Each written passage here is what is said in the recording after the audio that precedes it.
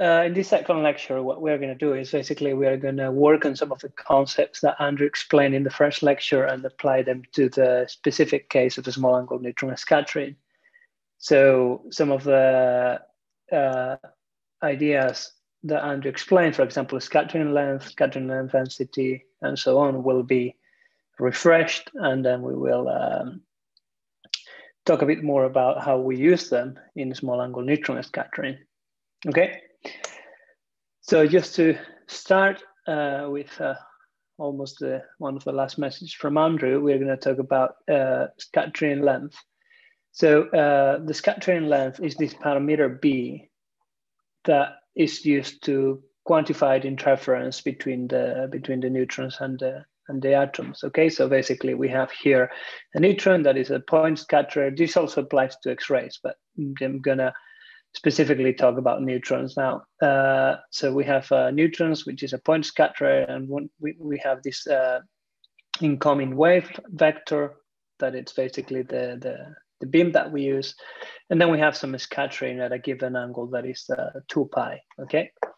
So basically here, uh, we have some scattered neutrons uh, at this scattering angle, and, and, and what happens here is that the phase of the scattered wave it uh, depends on this uh, interference factor that is the scattering length of this uh, of this given atom. Okay, so basically here we can uh, predict how this uh, phase of the scattered wave will be will behave uh, depending on what we have there in terms of materials. Okay, so basically.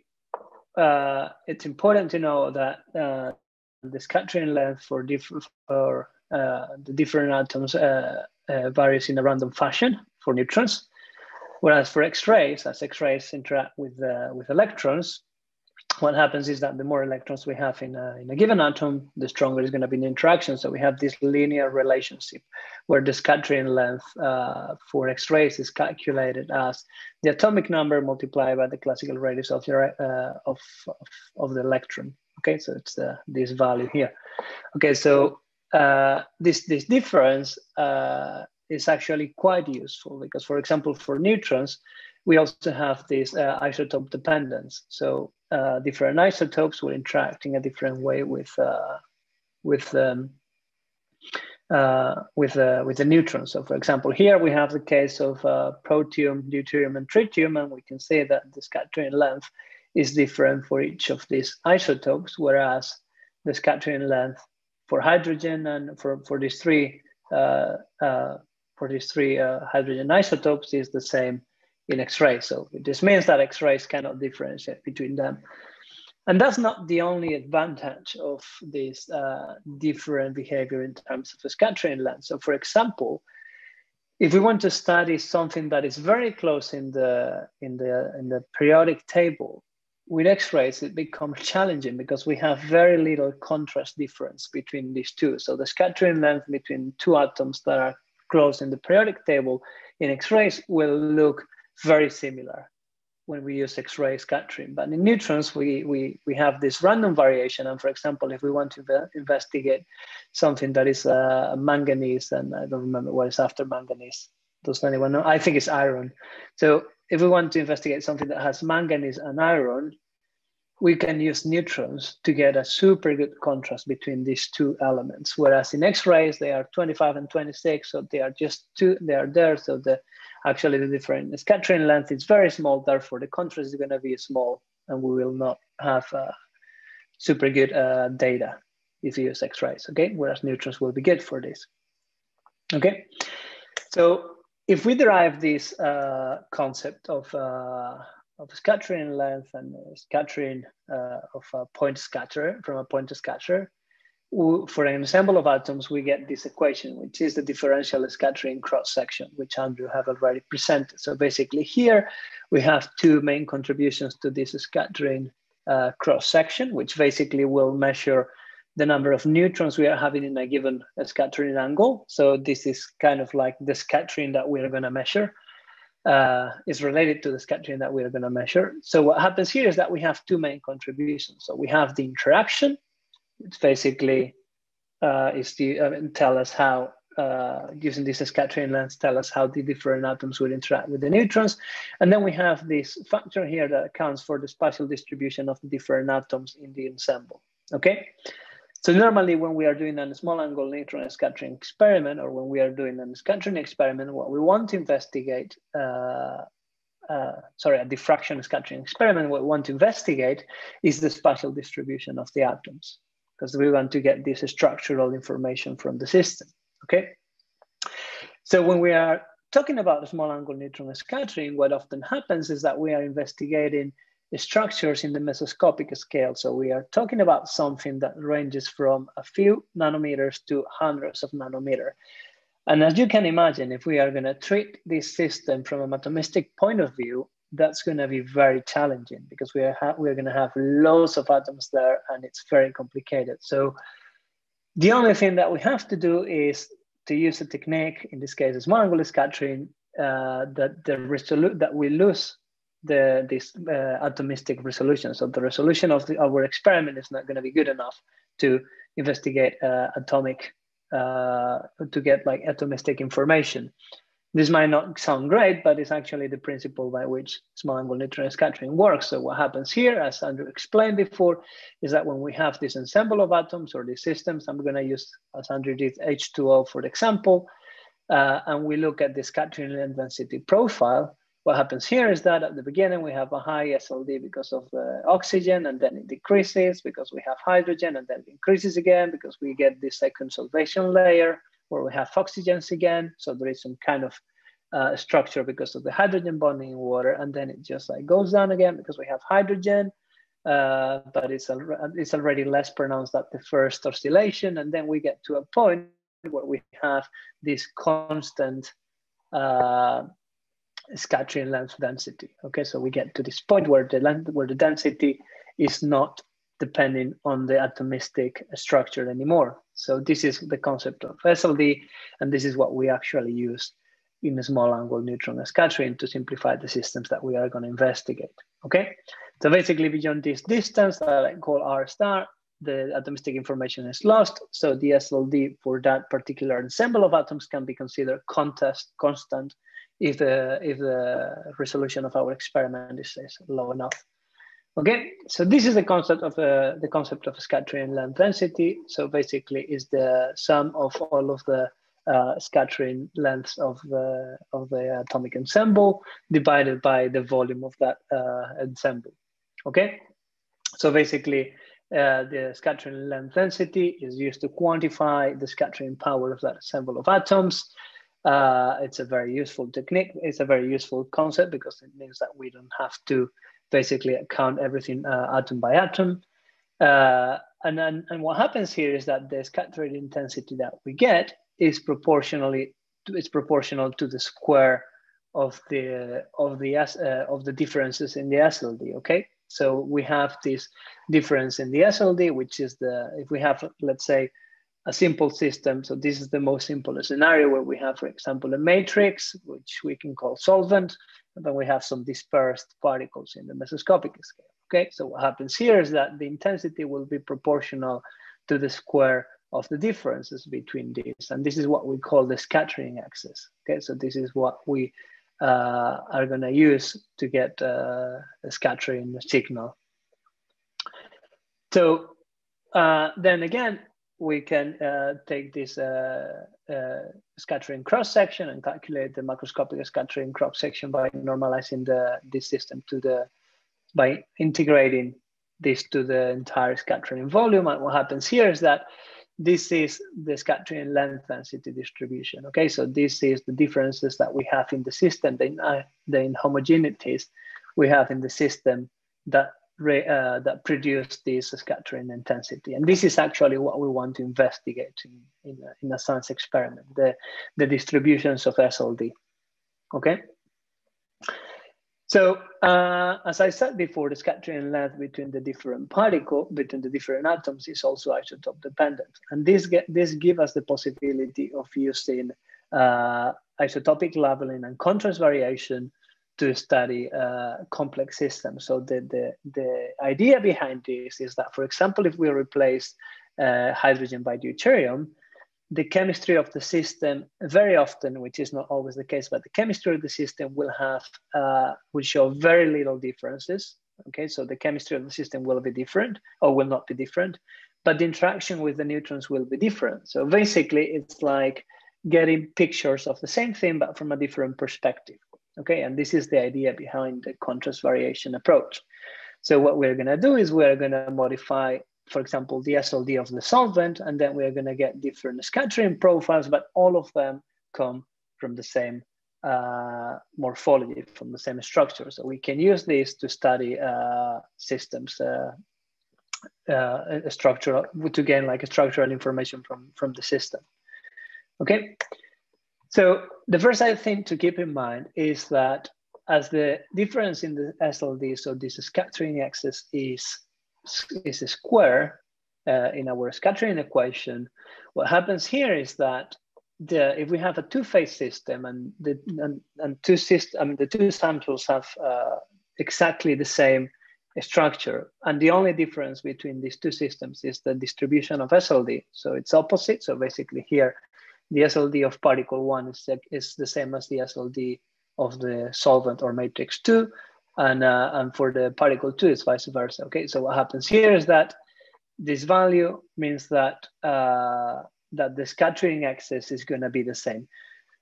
So because uh, of this fact, uh, we cannot, by taking one single measurement in, SL, uh, in, in, in a SANS experiment, we actually cannot know what is the uh, sign of this scattering length density distribution. So because this is a square, we don't know if this is negative or and, and, this is positive or vice versa, because all of the phase information is lost when we square this uh, when we when we square this uh, SLD profile.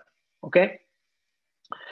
So uh, and if we go back to the scattering equation and, uh, and, and, we say that uh, this, uh, so we say that the scattering, the uh, scattering cross section, the macroscopic scattering cross section is proportional to the form factor, which will be introduced later. And this form factor is equal to the uh, square of the amplitude of the form factor. Okay, so this means that we have our form, our sorry, we have the amplitude of our form factor here, which is the blue one, and then we take the square, and that basically means that all of our negative values of the amplitude of the form factor are lost in this squaring process. So basically, it means that if we want to gain this structural information that is contained in the amplitude of the form factor, we need to reconstruct this scattering length density profile. And that's the main goal when it comes to analyzing uh, SANS data. What you're actually doing is you are trying to find a way to reconstruct the scattering length density profile of the system. And that's because we cannot just simply perform an, an, an inverse Fourier transform of this data. Uh, because as Andrew explained before, the, this microscopic, so this uh, scattering cross section uh, is basically the Fourier transform of the scattering length density distribution of the of the of the system. Uh, but but as, as it has this square factor, all of these negative values are lost, so we cannot just perform a, a, a an inverse Fourier transform uh, to to gain this uh, rho var again. So we have to use the, the different uh, data analysis approaches that we will explain tomorrow.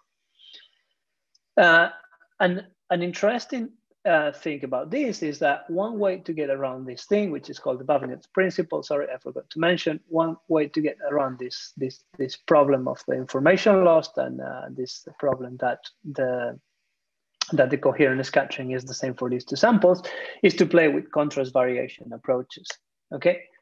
So contrast variation approaches, as I introduced before, it's basically we play with the contrast in the system by exchanging uh, different uh, by exchanging different parts of the system by different isotopes. Okay, so I have this is one of my favorite pictures when it comes to contrast variation. So basically what happens here is that there is a monster visiting these uh, two old guys. And as you can see, the old lady is sitting in the sofa and wearing exactly the same pattern that surrounds her. So basically the monster comes and the monster comes and he uh, he cannot see her, but the old guy is wearing a different pajamas and basically he will be devoured because of course the monster could detect him so this is the main idea between its contrast variation approach is that we want to selectively uh, enhance or hide the contribution to the scattering from different parts of the system so this is a quite common approach in SANS experiments as i said before when we have to resolve a complex structure. It comes for uh, it comes very handy because it can you we can use this to simplify the system as I will introduce now. And, uh, and, uh, and the way to do this is by playing with the isotopic composition of the system. Uh, so in, in, in, soft matter, which is my field, the most common approach is uh, to, to do a hydrogen deuterium exchange, but actually you can use different types of uh, isotopic labeling. Um, so it's not only limited to hydrogen and deuterium. So uh, basically, this uh, will help us to study specific parts of the system by highlighting some uh, particular features or hiding some others.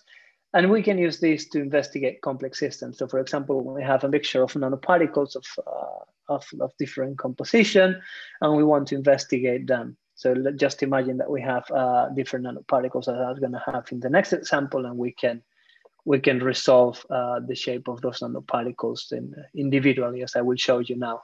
And there are other complex systems, for example, a mixture of polymers or protein detergent complexes that can benefit from, the invest from investigations that involve contrast variation approaches.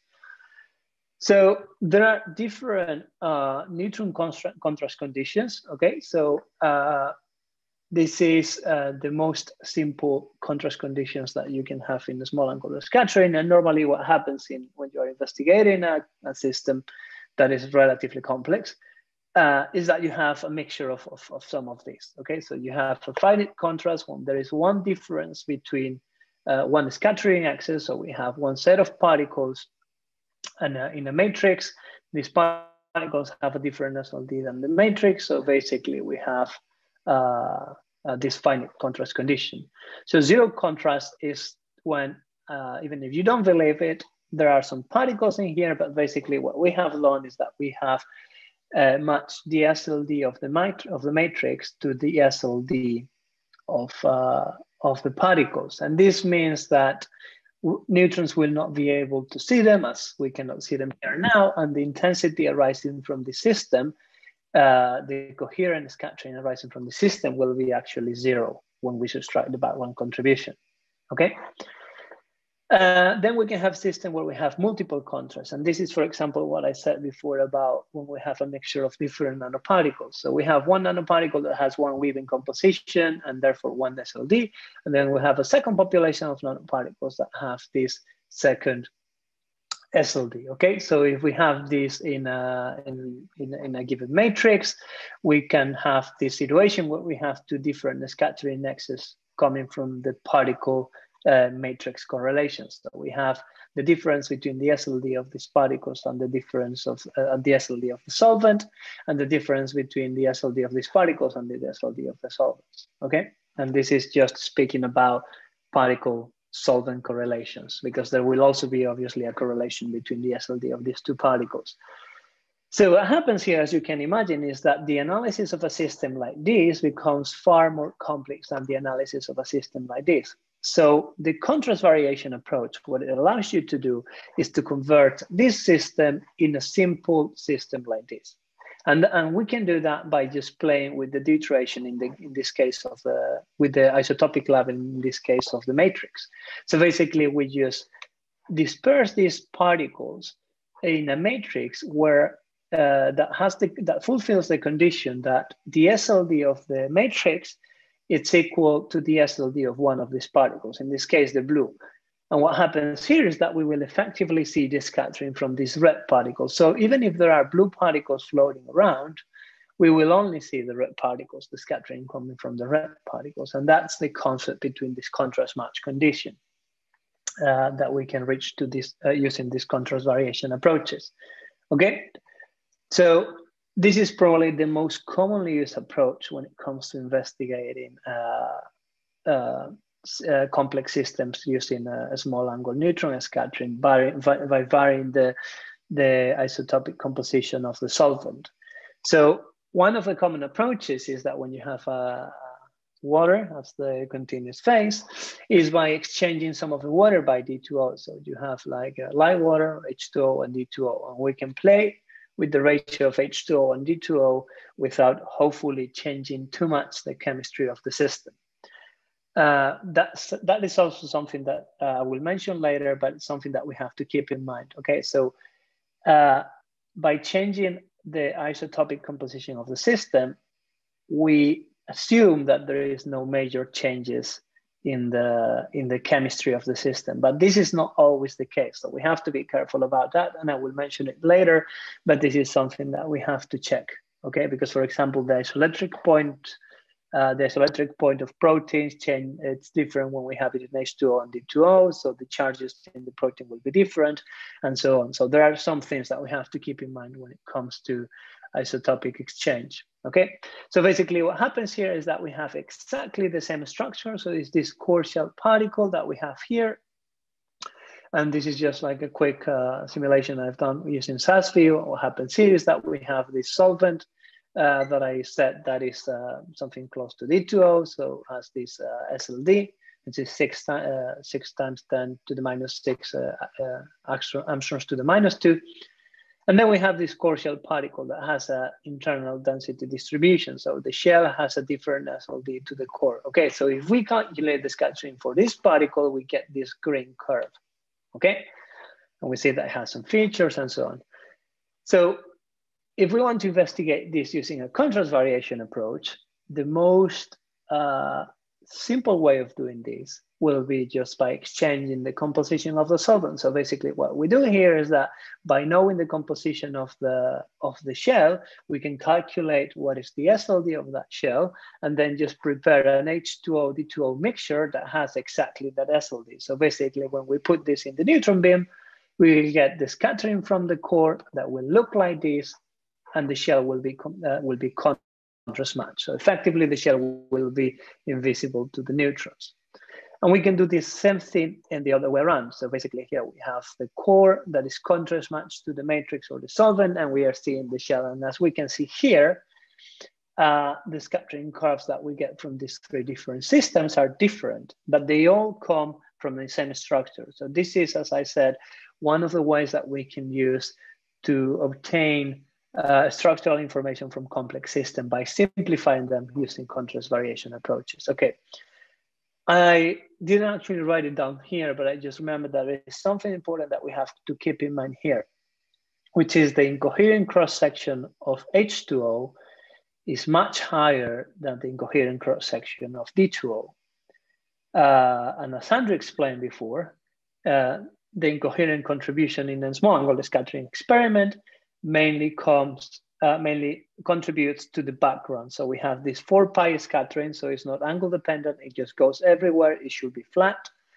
Uh, but the H2O has a really, really strong contribution. So if we are gonna play with a contrast variation approach where we uh, at uh, where we exchange the, the, the H2O to D2O ratio, we have to keep in mind that by increasing the level of H2O, we're going to also increase the we're going to also increase the incoherent contribution. So we're going to also increase the incoherent background.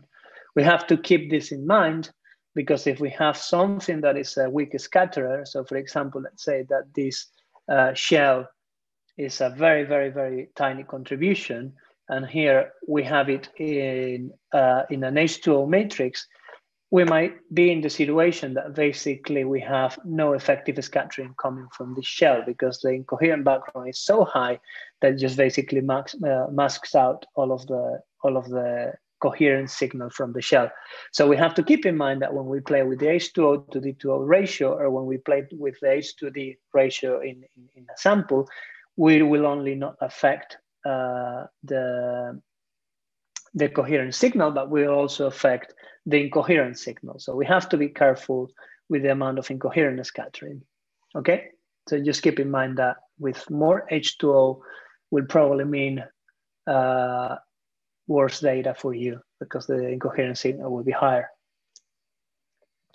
So another approach to do uh, these, uh, these contrast match experiments is by playing with the deuteration of, in this case, the particles. So not only with the H2O and D2O. So here, for example, I've just put some uh, calculated SLDs for different components. So we have H2O and D2O, and then we have this iron oxide and lysozyme here, okay? So uh, I'm just putting this as examples, but basically what I want to show here is, uh, uh, uh I mean, it's, it's a few details. that, for example, uh, what happens when you have proteins in solution is that you will have some H to D exchange in deuteration conditions. So if you put this protein in um, in uh, in D2O, what will happen is that we will have an exchange of these exchangeable hydrogens, uh, and they will this protein uh, uh these protein atoms will go away and will be replaced by deuterium, some of them, okay? So we have to keep in mind that when we put a protein in solution, for example, there will be some exchange. And it happens with, all, uh, with other type of uh, compounds, not only with uh, uh, not only with proteins, but you have to keep in mind that the SLD of your system might change when you put it in D2O, uh, the SLD of your particles, sorry. So for example, here you can see that as we increase the level of D2O in the system, we will also slightly increase the SLD of the of the protein. And if you have DNA and other stuff, it might also happen that you uh, see a change in the in the apparent SLD of your of your particle. Okay. And then here, what I wanted to show you here is that, for example, if we have uh, some surfactant that has some uh, tail that is uh, like a hydrocarbon tail, what happens is that we can also play with the deuteration of this of this system. Okay, uh, so basically we can replace the by using some uh, smart chemistry. We can. This is not as straightforward as just making a mixture of H2O and D2O, but by using some deuteration chemistry, you can uh, change the SLD of what will be hopefully your particle by replacing the protons in this uh, tail by uh, deuterium and this will effectively change the SLD of your system. Okay, so uh, another important aspect when you're doing a contrast match experiment or a contrast variation experiment is uh, to find the contrast match point. Okay, so we can say that contrast variation is just a general term of playing with different contrast uh, to get different uh, uh, information. And the contrast match point is that we, can, we want to get uh, this uh, zero contrast condition where there is not effective scattering from this uh, from a specific part of the system. So for example, here, uh, I don't really, ah, okay, they are measuring uh, silicon oxide particles and they wanted to determine the contrast match condition. So they wanted to determine at which level of solvent deuteration the incoherent scattering is zero. Okay, so they wanted to actually determine where when these uh, Ludox particles were invisible uh, to the neutrons. And to do that, uh, a common approach is that you basically take your particles and you disperse them in different uh, H2O to D2O ratios. So they, they I mean, uh, they did this using all of these great points. It's like a million points they got using a microfluidic system, but you can also use you can also do this by using some uh, discrete H2O uh, to D2O mixtures, which is the these uh, circles here. Okay. So what happens here is that then you put your particles in uh, in different H2O to D2O ratios. So for example, here somewhere around 20%, something around 40 something, 60, blah, blah. Uh, so what happens here is that uh, in each of these uh, H2O to D2O ratios, we'll have a different coherent signal. And that's because we are changing, even if the particle is the same, if the form factor is the same, what is happening here is that we are effectively changing the scattering axis of the system of each of them. Okay, so what happens here is that the scattering axis of this system is going to be different to the scattering axis of this, and so on. And the only diff- uh, and, and uh, whereas the form factor of the particle will be the same. So then they started to measure all of these samples, and what happens is that, as you can see here, that the intensity gets to a point that it gets close to the signal of the solvent, so when we subtract the solvent contribution is, is effectively zero. And then we get this contrast match point, which tell us that around 60% of D2O uh, in an H2O to D2O mixture, the contribution of these particles to the scattering will be effectively zero. Okay, and as I said before, this comes handy when we want to uh, when we want to investigate a system that is complex. For example, as I said before, this mixture of nanoparticles. So if we have some other nanoparticles that have a different SLD, and we put both nanoparticles in uh, in a, in a 60% uh, D2O uh, solvent, what will happen is that the contribution from these Ludox particles will be zero and we will have only the scattering from the other nanoparticles. Okay, so this is one of the approaches that we can use for uh, determining the zero contrast condition. And as I uh, briefly mentioned before, uh, there are different ways to actually play around with the with the scattering excess and with this contrast variation approach. And uh, a slightly more complex approach is to use a deuteration is to use deuteration chemistry to play with the deuteration of uh, of, of, of different parts of the system. Uh, so here again, you're expecting that by using the deuterium labeled chemicals, you will have a minimal impact uh, on the chemistry of the sample, but this is something that you have to check. It's not as simple as you're saying like, yeah, this is going to be, this is not going to change the chemistry of the sample. So you have to check, and there are different approaches to to to do it. I will not go into detail, but if someone wants to know more, uh, I can I will I can always uh, give them some further information. So what happens here is that we can, for example, here we have a lipid. This is DPPC. It's a common lipid that is used as a, it's commonly used as a model to, to, to uh, for biologic uh, membranes. So what happens here is that we have this proteated lipid. So basically it has a proteated tail, proteated head group. But then we can also get this lipid synthesized using deuterium. So we have these deuterated tails that are attached to a deuterated head. So this is like a per deuterated lipid. But then we can also have some more uh, complex uh, deuteration schemes. So we can have, for example, these tails only deuterated, whereas the head is proteated, or vice versa. So we can have these proteated tails with a deuterated head. So when we want to, for example, determine the internal structure of a lipid bilayer, this is very useful because this approach will uh, help us to gain more uh, information on the system, more structural information on the system, because we can, for example, only contrast match the head group, or we can only contrast match the tail group, and things like that. And this will help us to resolve uh, complex structures. So there are two ways of uh, of uh, of getting these deuterated materials. One way is to buy them, uh, but there is a limited availability of compounds. So you can get maybe DPPC, but if you are actually working with some more complex lipids, then it will be very unlikely that you can find them commercially. So the best way to get them is actually to talk to the neutron uh, facilities because they are often willing to collaborate and synthesize these uh, compounds for you if they are not commercially available. And uh, for example, at the ESS, they have the DEMAX uh, labs that basically what they do is they synthesize uh, deuterated compounds for users. So it works on a proposal basis. So basically you submit your proposal and you say, I want to do this neutron experiment. I need this, I need these uh, deuterated molecules. So basically they will say, there will, there will be like a panel to evaluate the the, the, the scientific interest and uh, feasibility of your experiment, and they will decide if you if they will they can make these uh, these uh, compounds for you. Okay, uh, so this will help you to elaborate some uh, more uh, complex deuteration and contrast variation schemes. so and, and there are like a variety of them but one of the uh, i'm just going to use one here as an example which is a zero the zero, average contrast condition okay?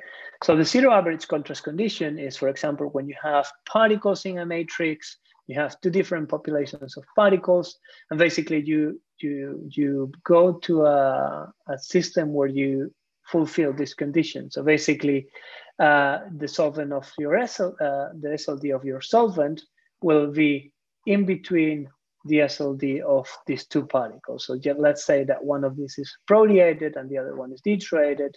And basically, if we are uh, in this condition, what happens is that the interaction, like the interaction term cancels out. So the structure factor cancels out.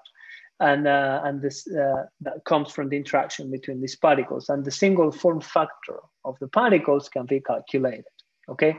Uh, for this example, I'm sorry, I didn't realize, but for this example, all the circles will have the same. Okay, so this is uh, the most uh, simple uh, zero contrast condition experiment, which is when we have particles that are identical and we just play with the deuteration level of those or with the SLD of those.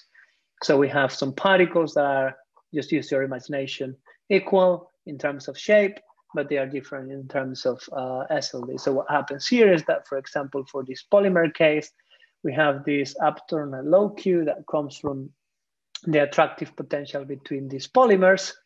But if we, uh, so basically that means that it's difficult to determine the form factor of the polymer. It's difficult to determine the, the, the structure of, of these uh, individual polymer chains because of this uh, structure factor. So what you do is then you prepare a sample in the zero average contrast condition, and we get rid of this uh, of this interaction term, and then we have the form factor that we can just fit using some uh, some form factor models and get information on the structure of this polymer. Okay, so this is the most simple case of a zero average contrast condition uh, experiment, which is when uh, we use a mixture of deuterated and proteated uh, uh, particles, uh, and, but they have the same form factor. But this can be extended to more complex systems, and then we gain uh, uh, some different types of information. So I'm gonna just gonna very briefly go through this example, but if someone is particularly interested in this type of approaches, we can uh, you can email me or you can contact me, and I will try to redirect you to the right to the right information. So let's say now that you have a system that is forming a type of complex. So now these uh, particles, when we put them in solution, they will form this complex. Let's say it's a one-to-one, -one, or it can be, I don't know, uh, like a six-to-one or whatever. But what is happening is that they form in a complex. So we can use this uh, contrast condition approach to determine uh, the, the state of the particle. So we can determine particle complexation, for example. And here it becomes a slightly more complex, this equation, but the idea behind this is exactly the same. So we want to determine the, the different contributions to the scattering by getting rid of the interaction term, okay? So what happens here is that uh, when this particle forms, uh, you have to keep in mind that the SLD of the solvent is in between these two. So it's at exactly one point that is equal to the to the scattering intensity of these two together. Okay, so there is this contrast match condition that it's fulfilled. So what happens here is that we form a complex. So if we look at the SLD of the complex, it will be effectively the same as the SLD of the matrix. So it means that the low angle signal will be zero. So the scattering at I of zero will be zero because effectively the complex itself, so the entire complex is invisible to neutrons. But what happens here is that the internal structure of the system has a density correlation. So there is gonna be some scattering from this. And I have here some data that I uh, analyzed just to show you how this works, okay? So we have four different contrasts. And what happens here is that the red is the entire particle, so it's the entire complex. The black is uh, the red particle, for example, and the blue is the blue particle. So we can play with the deuteration of the solvent to get the structure of these three different uh, parts of the system. And then this green is actually the zero average contrast condition. So uh, if this uh, complex is, is formed, what happens here is that the I of zero will be equal to zero, which is what we see here. So this is basically just noise. Uh, and this is because the SLD of this complex, when we see it, like when we see the entire complex, is equal to the SLD of the matrix. But what happens is that as there is some density correlation inside this complex, then we will see this bump at height q that will correlate to the structure inside a complex. So basically we can use, uh, this is just a very brief explanation of what we, how we can use the zero average contrast condition also to resolve uh, complex structures. For example, the formation of lipid domains, uh, complexation between nanoparticles. Uh, this was the case of some uh, protein surfactant interactions, but we can use this to investigate uh, different complex morphologies, okay? Uh, now I'm gonna move a bit away uh, from uh, SANS. I'm gonna talk about SAXS in connection to SANS. Uh, so basically, uh, SANS like SAXS are very, are very, very powerful techniques when they are put together. And that's because we can investigate the structure of a given system by playing with the contrast without the need of, of for example, using deuteration. Okay, so as Andrew, uh, I think Andrew talked about this too, but X-rays, uh, I also introduced it before, X-rays interact with electron clouds and neutrons interact with the nuclei of the, of the atoms in the, in the scattering volume. So we will get a different type of interaction, okay? But both of them are looking at the same length scale. So they are looking at the same structural information, let's say. So this makes these two techniques uh, complementary and actually, the co-refinement of SANS and SAXS data has become a powerful technique to study different systems. So this is just uh, an example from neutron imaging on how an SLR camera looks on uh, when we use neutrons or X-ray. So for example, here we have here the film, which is going to be highly, uh, I mean, it will have, it's basically plastic, so there will be lots of hydrogen in there, whereas the rest of the camera is some kind of metal and this means that we and with neutrons we are going to get like uh, good information about this uh, uh, part of the system that is uh, that has a high hydrogen content.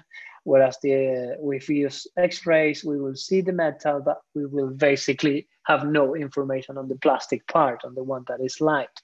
Okay? So the concept between using this uh, the concept of using these two methods in uh, of combining these two methods is basically uh, gaining information of different parts of the system. So effectively getting different contrast.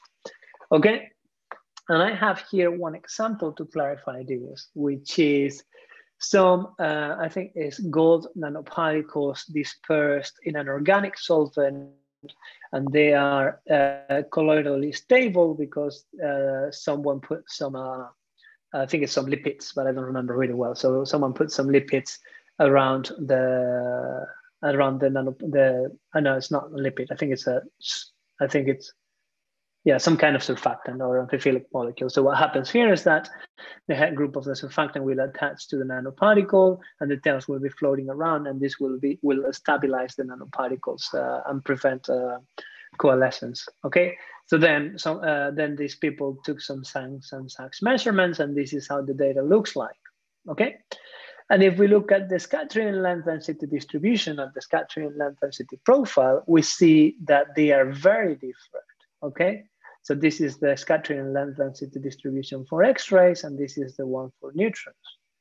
So what happens here is that if we look at the SLD values uh, and calculate the scattering excess, we see that, for example, the scattering excess between the particle and the solvent is huge in comparison to the scattering excess between this shell around the particle uh, when we compare that to, to water or to, sorry, no, not water, to the to this organic solvent that is the uh, the dispersant. So what happens here is that if we do some SAXS, uh, as we can see from the from the scattering excess, most of the intensity in this experiment will come from the scattering excess between the nanoparticle and the solvent. So because they will dominate. And basically, this will be invisible. I mean, about 100% of the signal will come from the from the from the nanoparticle. But if we do some neutrons, we and we play with the deuteration, so we have some deuterated continuous phase and we have some proteated uh, shell. What happens here is that the, the nanoparticle scattering is much lower than that of this shell. So then in the neutron case, the, the, the scattering from the shell will dominate the signal. So basically we can combine these two methods to get information, uh, to get like detailed information on both the core, which is the nanoparticle, and the shell, which is this ligand or surfactants that we are using to stabilize the nanoparticles. Okay, so what you have to do here, and I will go uh, tomorrow in more detail into this, is to use a simultaneous fitting approach. So basically, we're going to take all of this data together uh, we're going to take all of this neutron contrast and we're going to take also this X-ray contrast and we're going to build a structural model where the only difference between this, these contrasts will be the scattering length density. And, uh, and I think that this uh, picture of the, this drawing of the, I guess, in some cats, uh, it's a good uh, demonstration of that. Okay, so basically we have one system here where we see the two cats then we have one system here where we see only one cat. Then we have a system here where we see the cats, but in a different way to the first case. And then we see the other cat in this last one here. So the cats are the same in every picture. So what we have to do is to find one structural model that satisfies all of these contrast conditions. And that will give us a very robust answer in terms of the structure of the system. Uh, so basically the use of several contrasts will give us a, a, more accurate validation of the model. And what we have to do, the way that we do this is either by co-refining different contrasts or introducing some constraints that we get from other systems. So for example, if, from other contrasts. So for example, if we know that this is the shape of this cat, then we can say for this, okay, we know the shape of this cat. So basically the signal from this will be the total signal minus the signal of this cat. Okay, so basically we can use this type of constraints to simplify the scattering data. Uh, another advantage of using contrast variation approaches, as I introduced before, is that we get rid of this phase problem. So as we have more contrast, we can build a more robust model that will get rid of this phase uh, problem where we could, uh, where it was more difficult to find the, the original scattering length density distribution. And, uh, and uh, something that I've yeah, briefly mentioned before is this isotope effect. Uh, so sometimes when we play with isotopes, we might have a strong impact in, in the system. And for example, if we talk about proteins and we put them in, in, in a buffer, uh, maybe if the buffer is deuterated, the proteins might precipitate because the, the, the isoelectric point of the protein is, is different in H2O and D2O. So we might be at the point where the proteins precipitate. So we have to keep in mind that there might be some isotopic effects that might also affect the structure of the system. So a good way to, to do this, to check for this, is to take all of your contrasts and put them in an X-ray machine. So measure SAXS of all of your uh, different isotopic mixtures. If they all look the same in SAXS, it means that the isotope effect has no effect on uh, uh, on this particular system because the scattering from X-rays is going to be the same. And as I said before, there is not isotope dependence when it comes to X-ray scattering. Okay, so if they all look the same, it means that we will not have uh, isotope effect that affects the structure. And uh, this is just an example of, uh, of a SMURP, which is like a, uh, some kind of a lipid nanodisk where we can have, uh, so basically what happens here is that we have uh, like a region of a lipid membrane that it's like entrapped in some kind of a nanodisk that might be polymer or protein or, or different types of system. But I want to show you here is that this is a relatively complex structure. And if we only use one scattering curve here, there is going to be so many parameters to fit that basically we won't be able to get a, a, a, a reliable answer unless we use a contrast variation approach. So basically what happens here is that these people, what they did was measure the system in different contrast conditions. And then they found one structure that satisfied all of them. Okay, so basically here what happens is that they're gonna probably measure in different parts of the system and highlighting them as, well as, as it happens with these caps. Uh, just to briefly mention here that the agreement between these is not perfect. And that's actually often the case because there might be some polydispersity, there might be some uh, differences in the concentration between the different contrast, and there might be some differences due to, iso to subtle isotopic effects. So uh, it's difficult to get like a perfect fit, but I will say that this is extremely good fit when it comes to co-refinement of different contrast. And uh, I'm just gonna briefly go back here, and, and, this is the same case for this. Okay, you can see that if we look at the models individually, they might not be perfect, but if you put the picture together and you say that these models satisfy the four neutron contrast, I will say that that's a really good answer. Okay, so this is uh, everything that I had to say today. Uh, and uh, basically, I'm just going to briefly go through some of the things that I've uh, mentioned. And uh, I think that it's very important uh, that you know your system, that you know what kind of information do you want to get. And the first question that you have to ask is, do I need neutrons? Or can I do this using some light scattering or X-ray scattering, which will be faster, cheaper, and easier? Uh, but if you need the use of neutrons, the first question that you have to ask yourself is how we can investigate this system in an effect in an efficient way, in a, in a way that we can get the most of information uh, by, for example, using contrast variation. So you have to keep in mind if there are like internal density correlations, if we have a multi-component system and so on, and try to think on how we can benefit from a contrast variation approach. Then you have to consider the isotope effect. You have to consider if there is going to be some effects that uh, come from uh, from the exchange uh, of H2O and D2O, from the exchange of uh, hydrogen and deuterium, or any other isotopes. I've seen people doing contrast variation by exchanging, for example, between different isotopes of lithium and so on. So it's not only limited to HD. But uh, sorry if I go back to HD all the time, but that's because it's my, I guess, I guess because it's what I use more often. Uh, another important aspect is where will you get your deuterated chemicals? Okay, not everyone has, I have here, not everyone has per deuterated cotton candy in the lab. And what I want to say with this is that deuterated chemicals are by no means as, as common as proteated chemicals or naturally abundant uh, uh, chemicals. So you have to keep this in mind. Where are you going to get them? You're going to request them to a deuteration facility. You're going to buy them. They're going to be expensive. You're going to need extra funding and so on. So you have to keep all of that in mind.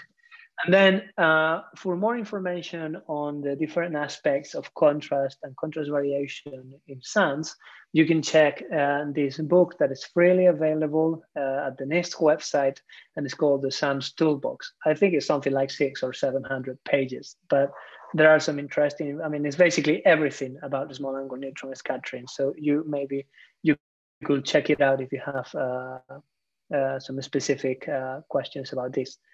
Uh, and after this, I'm done with my lecture. And if there is any questions, now it's the time to ask them.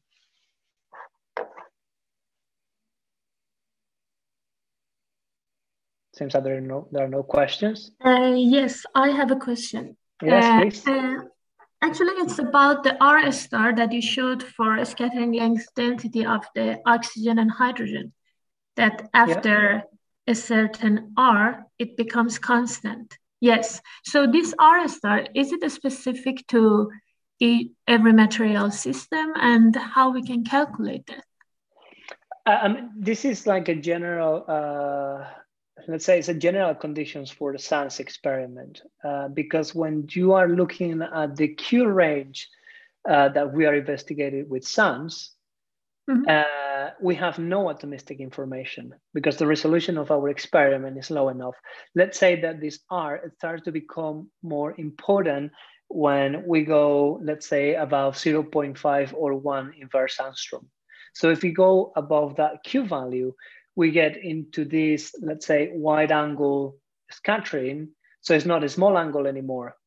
Uh, so when it comes to SANS, you don't really have to worry about this R star it's more about when you go to this um, more complex, uh, yeah, or not more complex uh, necessary, but when you're going to this wide angle scattering. Uh, and what you have to do there is you have to use a model that contains that type of atomistic information. So you will have to use simulations or you will have to use uh, some other approaches to gain information on this system. But when it comes to SANS, you don't have to worry about this R star because oh. basically the reason why SANS works as it does is because the resolution is not, let's say, good enough to get information on atomistic. Uh, yeah, I see. Yeah, okay. okay. Thank you. You're welcome. Any more questions? Something in the chat? Uh, yes, uh, of course. So uh, Anton is asking if there are support labs in neutron facilities where deuteration is possible. Yes. So uh, I will say that even now there is some kind of like common effort between the different facilities to kind of like be able to supply uh, to provide all of the all of the deuterated chemicals required by uh, by users. Uh, so what you have to actually look at is what do you need from for your experiment. So if you need lipids, or if you need proteins, or if you need uh, uh, some other polymers and things like that. And, and then what happens is that the different deuteration facilities at the different uh, at the different uh, neutron scattering facilities will be, let's say, specialized in some different types of uh, materials. Okay, so you can you can check uh, what would you be interested on, but for example, yeah, I think that uh, DEMAX here at ESS, they can prepare quite a lot of um, small molecules and things like that. Uh, but they also can do, I think, maybe I'm wrong, but uh, deuterated proteins. The one at the ILL, they have like a really knowledge on uh, the deuteration of proteins. ISIS have been good at preparing different small molecules and surfactants and things like that. In Germany, they prepare deuterated polymers. So I think that there is like a, uh, the different facilities have uh, different expertise, but there is a common effort. So if you're going to do an experiment that requires something, maybe you can talk to someone at, at, a, at, even if it is a different facility to prepare that deuterated material for you. So if you want more information uh, about this or any other thing, I'm going to write my uh, email in the in the chat so every so anyone can contact me. Any more questions? Yeah, I have a question. Yes. Uh, uh, the uh, uh, the resolutions uh, for these uh, X-ray produced and neutron produced images can be different. So when we combine these images to produce a single one, how we balance these to you know produce a fair combined yes. image? Okay, that's actually a very good question, and I will go more into detail tomorrow. And as, as you very uh, correctly said, that the resolutions might be different between the techniques, it becomes really challenging to actually uh, take your data and say, okay, uh, if the, uh, let's say like they convolute the resolution. So what you normally do is you use some resolution models that are applied to your structural model. Mm-hmm. And for example, if you have an X-ray signal, an X-ray curve, you say, okay, this has a resolution of this value. Uh, when you are going to try to fit a model to that, and then you take this other model and you say to the neutrons, okay, there is this other resolution. So basically, the structural model that you're going to get is going to be smeared by the resolution of each of the uh, pictures you take, let's say. And then tomorrow we'll talk about a bit more about uh, about the resolution and how we implement it in the different models. But that's a very good question. Thank you. Thank you, Adrian. Any other question?